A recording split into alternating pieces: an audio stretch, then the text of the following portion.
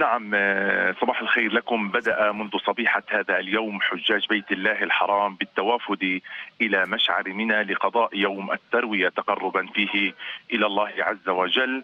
منذ ساعات الصباح والحجاج من كل دول العالم يتوافدون إلى مشعر منى لأداء بدء هذه المناسك وسيغادرون منى في التاسع من ذي الحجة يوم غد وسيقفون على صعيد عرفة. جميع الحجاج الذين خرجوا اليوم سيكتمل وصول باقي الحجاج إلى صعيد عرفة مساء هذا اليوم الخميس ليقضوا يوم الجمعة الذي يصادف يوم عرفة في هناك.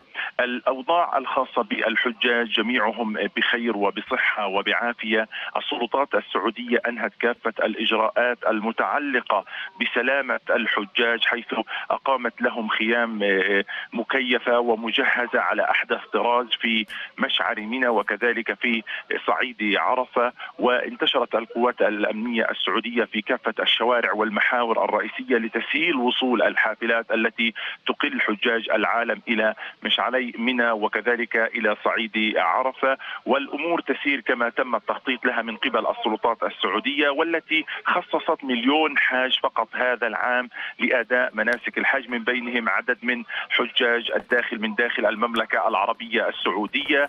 أيضا هذا العام يأتي بعد انقطاع لمدة عامين لحجاج دول العالم وتم تحديد أعمارهم تقل عن ال 65 عام وذلك وبذلك بسبب جائحة كورونا والإجراءات السعودية التي تهدف إلى ضبط عملية الحج لهذا العام، الأمور تسير على قدم وساق، الحجاج ما زالوا يتوافدون إلى هذه اللحظة إلى مشعر منى ل المبيت هناك. ومن ثم التوجه إلى صعيد عرفة، ساعات قليلة تفصل فقط حجاج العالم عن بدء هذه المناسك وأداء خطبة الجمعة في صعيد عرفة.